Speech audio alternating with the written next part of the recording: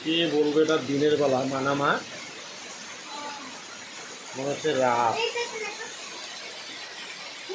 আছে?